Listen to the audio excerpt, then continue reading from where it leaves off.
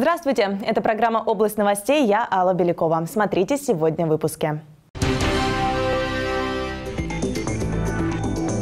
И в горе и в радости. О том, с какими проблемами тамбовчане идут к главе администрации области, узнала Юлия Савушкина. По итогам личного приема губернатор всегда берет на личный контроль вопросы, озвученные тамбовчанами, или дает соответствующие поручения контролирующим ведомствам и своим заместителям.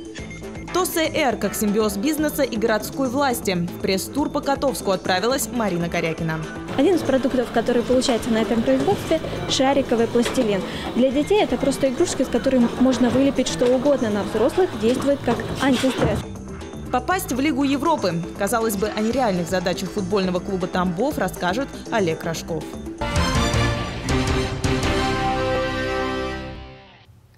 Свыше тысячи высокопроизводительных рабочих мест было создано в Тамбовской области за год. Такие данные озвучили сегодня на общем собрании Ассоциации промышленников и предпринимателей региона.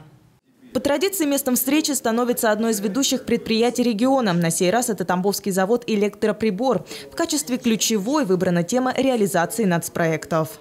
Это в первую очередь пополнение налоговой базы. Это, конечно же, организация новых рабочих мест. Это наращивание объемов производства, которые за собой и влекут достижение первых двух показателей. Это и исполнение э, нацпроекта и целевых показателей, которые там прописаны, увеличение производительности труда и, конечно, промышленный экспорт. В минувшем году в Тамбовской области было создано свыше тысячи высокопроизводительных рабочих мест. Одним из наиболее успешных примеров того, как малые и средние предприятия разрастаются до крупных, назвали Котовский завод нетканных материалов. К слову, это предприятие лидирует в отрасли по объему инвестиций. Котовск получил статус территории опережающего развития. Какие изменения теперь ожидают моногород, сегодня на пресс-туре рассказали и показали журналистам и блогерам. В числе тех, кто посетил город будущего, была и наш корреспондент Марина Корякина. Сегодня тот редкий случай, когда двери промышленных предприятий Котовска открыты для прессы, и бизнесмены готовы рассказать, какие первые шаги они уже сделали по территории опережающего развития. Бывшие цеха ЛКЗ облюбовали под изготовление промышленных кондиционеров. Применяется оборудование на предприятиях нефтегазового комплекса, э, опять же, России, стран Таможенного союза, но не только, также лакокрасочное производство, мукомольные фабрики, там, где есть еще не только образование взрывоопасной газовоздушной смеси, но и пылеобразование, да, то есть в том числе какие-то э, химические лаборатории, фармпроизводства. Уже выпустили несколько образцов и отправили на сертификацию. Сейчас на предприятии создано 8 рабочих мест. Пока работают специалисты из Краснодара. На площадку ЛКЗ пришли сразу два крупных резидента. Второй будет специализироваться на переработке нефтепродуктов.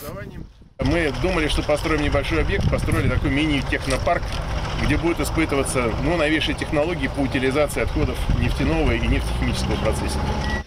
Для этого тут даже предусмотрят испытательный полигон. Инвесторы уже вложили порядка 100 миллионов в этот проект и готовы вложить еще, ведь условия, которые предлагают для развития бизнеса в ТОСР, более чем заманчивые. У нас очень хорошие льготы, ноль за землю налогов, ноль за имущество, ноль на прибыль первые пять лет. Из э, всех э, начислений на заработную плату со страховых фирм остается с 32% 7,8%. Ну и дальше, и дальше мы с каждым работаем индивидуально. Помимо тяжелой промышленности есть и легкая для детей. Учредитель уроженец Котовска в 2016 году уехал в Москву и создал лабораторию по производству развивающих игрушек. Когда встал вопрос о расширении, решил вернуться на малую родину. Сейчас здесь трудится 38 котовчан. На радость себе и детям. Один из продуктов, который получается на этом производстве – шариковый пластилин. Для детей это просто игрушки, с которыми можно вылепить что угодно. На взрослых действует как антистресс. Кстати, очень приятно пахнет, а производители используют тамбовский ванилин. ТОСР предполагают симбиоз бизнеса и городской власти. Резиденты предлагают рабочие места, позволяя тем самым вывести заработную плату из тени. Все это ведет к пополнению городской казны. Да и, как поясняет глава Кадовска, почва к созданию ТОСР была готова. Опережая социально-экономического развития, она рассчитана на что? А, первое, на увеличение количества рабочих мест. Потому что мы долгое время мы каждый год проводим социологические исследования. Долгое время у нас на первом месте стояло то, что у нас не хватает рабочих мест. хотя у нас нет безработицы, у нас э, вот этого, этой проблемы не бывает, но у нас есть э, такая, знаете, временная миграция. У нас примерно 4-4,5 тысячи катовчан выезжает в город Тамбов и там работают.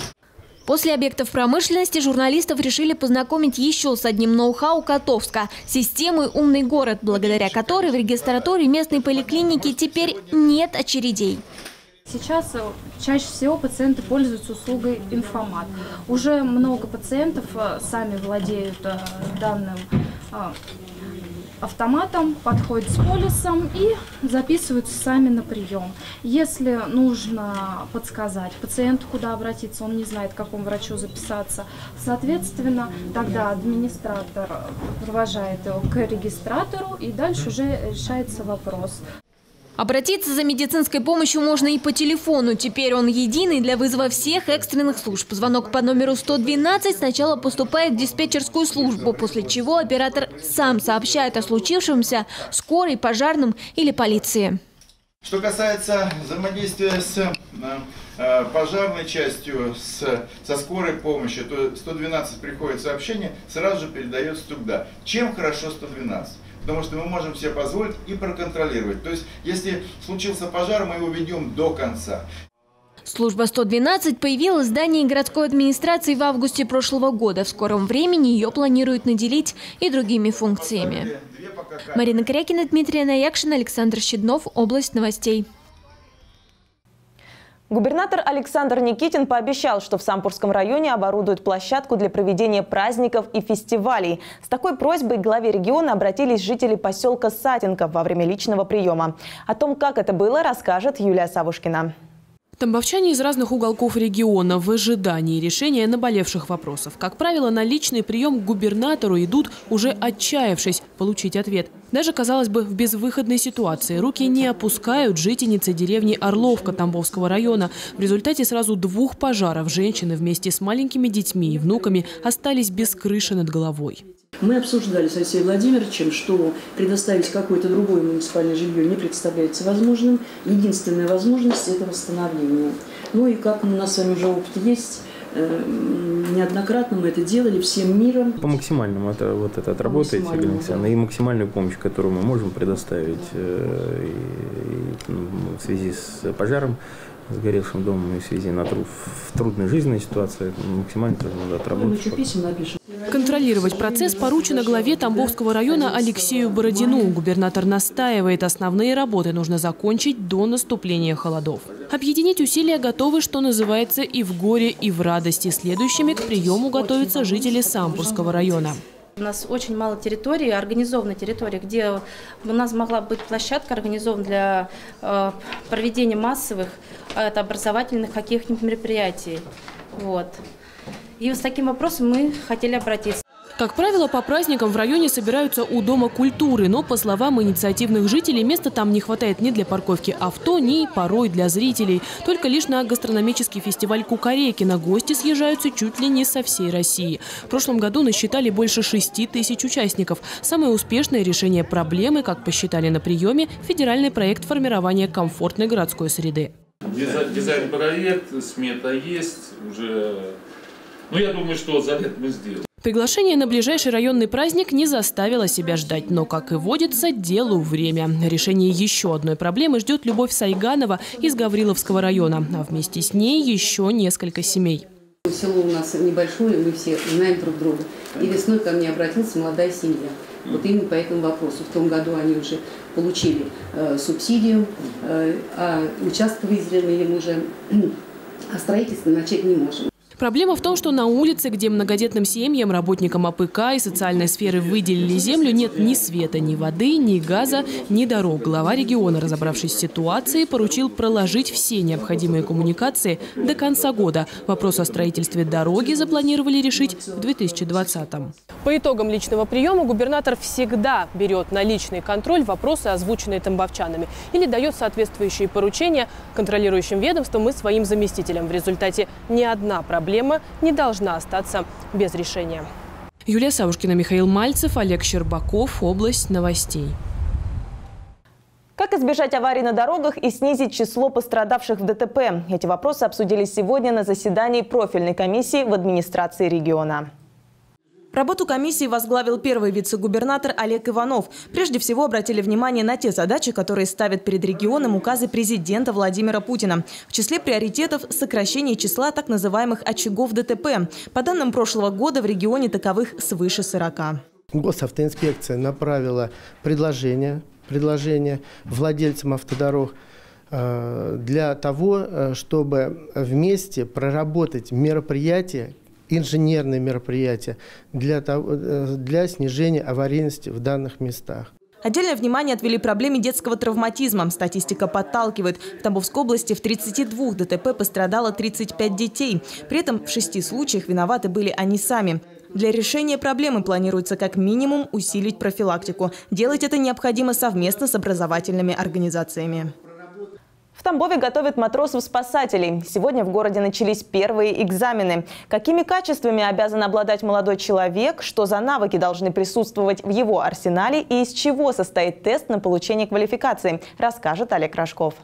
Экзамен состоит из двух частей – теоретической и практической. И если в первой еще можно допустить ошибку, то при выполнении норматива во второй это недопустимо. Иначе человек снимается с экзамена, и в этом году ему уже не стать матросом-спасателем. Именно теория проверяет, насколько будущий матрос-спасатель знает, как и главное, что ему предстоит делать, когда он заступит на пост. Теория – это оказание первой помощи, документация, которая ведется на спасательном посту, руководящие документы, которые определяют жизнедеятельность и безопасность на воде. Суровая романтика жизни матроса начинается после. Во время экзамена моделируется ситуация со спасением утопающего. И студент Егор Чекмарев знает, как правильно помочь человеку в воде. Парень с детства мечтал приносить пользу людям, людям, специально поступил в аграрно-технологический техникум, где изучает основы защиты в чрезвычайных ситуациях. Поэтому на своем дежурстве Егор Чекмарев оплошности не допустит. Прежде всего я должен думать о том, как правильно подойти к пострадавшему, поскольку он находится в испуге, волнении, у него нервы, и он может не только сам утопиться, но и утопить тебя. А как нужно правильно подойти? Надо подходить со спины так, чтобы его руки никак не охватывали тебя, то есть чтобы он не схватывался за тебя и не пошел с ним ко дну. Добросить круг до условного утопающего, уметь плавать как можно быстрее – основополагающие навыки для матроса-спасателя. В нашей области больше сотни пляжей, на которых скоро откроется купальный сезон. Поэтому наличие там хорошо обученного специалиста – это залог безопасности отдыхающих. Олег Рожков, Олег Осипов, Анна Мусатова. Область новостей. В областном центре стартовала акция «Добрые соседи». В префектурах, советах территорий и во дворах проходят праздничные мероприятия. Тематика соседских посиделок разнообразна. Спортивные мероприятия, деловые беседы, концертные программы, дружеские чаепития. И это далеко не полный список. Накануне на творческих посиделках в округе Старинной побывала Людмила Марченко. Еще два года назад жители этих домов и представить не могли, что их совсем неприглядный двор рядом с центральным рынком станет таким чистым и красивым, что не стыдно будет пригласить гостей и организовать большой праздник. Ну, давайте э, сейчас, ну, скажем так, дадим слово, чтобы мы будем дальше развиваться, благоустраивать наш город, собираться, соединяться все вместе. Этот двор был отремонтирован в рамках проекта «Комфортная городская среда». Неравнодушные и активные жители организованно собрали подписи, подали заявку, утвердили дизайн-проект. Двор, который был благоустроен по соседству на коммунальной 36, там достаточно активные люди проживают, и э, они заразили вот этим энтузиазмом двор э, по соседству. А, жители этих дворов, а надо понимать, что здесь дворовая территория образована из трех э, многоквартирных домов, а, подали заявку, тоже вошли в проект благоустройства, двор сделан, и, конечно же, почему бы всем вместе не порадоваться этому обстоятельству. Ну, так продолжаем, идем от двора к двору. Дни соседей в Тамбове не просто мероприятия, а душевные праздники, попадая на которые верится с трудом, что гости совсем недавно были незнакомы друг с другом. Считается, что праздник добрых соседей пришел к нам из Европы. Однако традиции гостеприимства и добрососедства всегда были в части народов России. Я вспоминаю даже э, по своему детству, что всегда на любой праздник, э, когда проводились субботники, воскресники, всегда выходили все соседи, все друг друга знали, все улыбались. И от маленького до великого все производили уборку, уборку территории, всегда здоровались старшими. Отсюда и шло воспитание, то есть уважение к старшим, оттуда, из начала. Активистам округа Старинный по-хорошему стало тесно в своем дворе. И они пошли знакомиться к соседям, увлекая их благоустройством города вокруг себя. И, как оказалось, во время совместной работы много узнали друг о друге. Появились проекты по возрождению забытых ремесел, которые заинтересовали и молодежь. Это очень интересно. Согласитесь, вы не каждый день вы увидите живую кузню на улице, так же, как и гончарню. Сейчас, к сожалению, эти э, ремесла уходят в убыль уже, и вот сейчас мы пытаемся отреставрировать то, что другими давно забыто. Этот день понемногу начинает обрастать традициями. В каждом городе и даже в каждом дворе они свои, но объединяет их одно – желание открыться и протянуть руку тому, кто рядом. Атмосфера округа Старинная располагает к развитию старых ремесел. Вот и мы решили приобщиться к кузнечному делу и изготовить вместе с мастером гвоздь как символ доброго соседства. Вот так рождаются традиции. Людмила Марченко, Александр Поздняков, Ольга Кириллова. Область новостей. Чемпионство ФНЛ и проход в премьер-лигу. Футбольный клуб «Тамбов» без преувеличения заканчивает сезон историческими достижениями. Что ждет команду теперь, какие вершины она собирается покорить, а также зачем главному тренеру Тамбова нужны волки и орехи, узнал Олег Рожков. 60% от прежней обоймы игроков останутся в команде. Эту информацию озвучили руководители клуба. Но чтобы добиться положительного результата в премьер-лиге, остальные 40% придется значительно усилить. Причем не обязательно дорогостоящими игроками. Деньги играть не будут, так говорит главный тренер Тамбова. По словам Александра Григоряна, выбор будет основан на определенных качествах спортсменов. Нам э, нужны крепкие орешки безусловно. Стрессоустойчивый, целеустремленный. Для меня немаловажно режимные ребята. Вот. Это очень важный момент. Вот. Э, ну, скажем так, волки.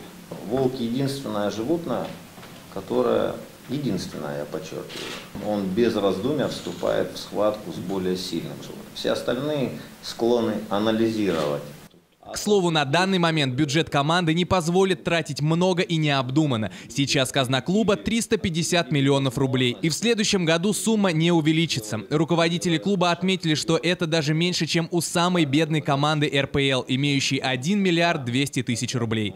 Но президента Тамбова такое положение дел совсем не пугает. У Арсена Габуева даже не сказать, что амбициозные, а прямо-таки великие планы на предстоящий сезон. Без шуток, как говорит он сам. Задача у нас стоят очень простые. Мы должны попасть в Лигу Европы. Вот понимаете, вот вы сейчас опять смеетесь. В прошлом году вы смеялись, когда вам сказали, что мы должны выиграть ФНЛ. Наша цель это Лига Европы. Она, я вам и говорю, это не просто так. Там, получится, не получится, но цель будет стоять такая. Потому что если я вам сейчас скажу, наша цель закрепиться в премьер-лиге. Это значит что? Что мы должны выйти, там, поболтаться в премьер-лиге и закрепиться, остаться. Нет. Участие в Евролиге гарантирует дополнительные денежные средства команде. И если цель действительно будет достигнута, то Тамбов может получить 5 миллионов евро.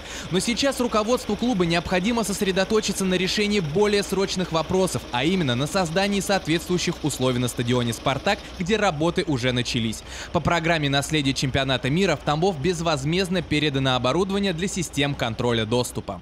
Первое время в премьер-лиге тамбовская команда проведет на стадионе в Саранске. «Спартак» еще необходимо подготовить. Во-первых, установить систему безопасности и обеспечить 10 тысяч зрителей посадочными местами. Если все пойдет по плану, то уже в конце августа или в начале сентября зрители увидят домашние игры команды на родном поле. Олег Рожков, Александр Поздняков, Ольга Кириллова. Область новостей. Мы рассказали о главных событиях этого дня. Больше новостей вы найдете на нашем сайте tvtambov.ru. До новых встреч!